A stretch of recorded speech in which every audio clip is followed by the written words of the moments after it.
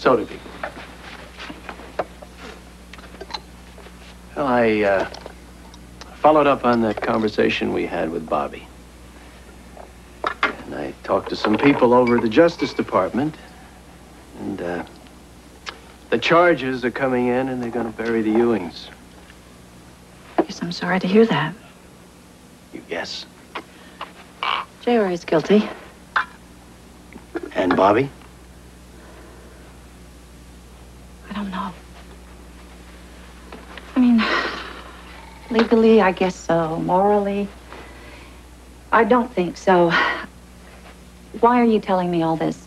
I mean, sooner or later, it's gonna come up before a court and justice will be served.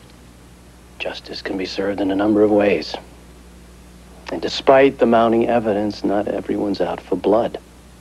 I don't know what you mean. Well, I do have certain influence.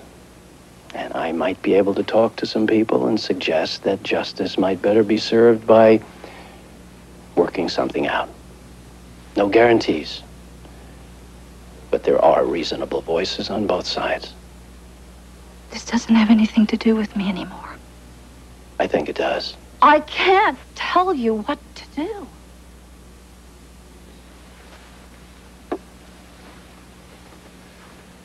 Well, you can tell me how you feel.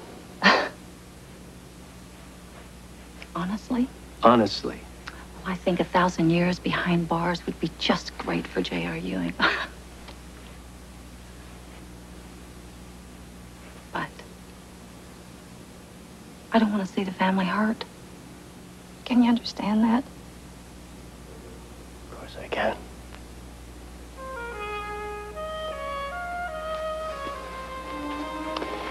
You wouldn't be the woman I fell in love with if I couldn't.